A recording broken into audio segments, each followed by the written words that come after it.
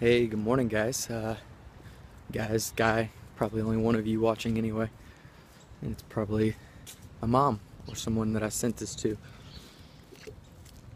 Anyway, heading to a Story Pirates show. Basically, what Story Pirates is, is comedians and improvisers uh, take stories written by kids and they, uh, and we perform them in their schools.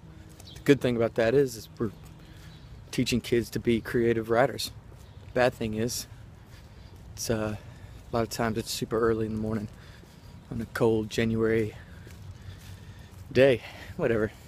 Uh, it's gonna be a good time.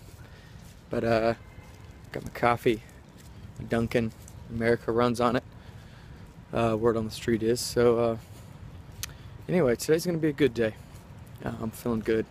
Um, just a little tired, but. See y'all soon.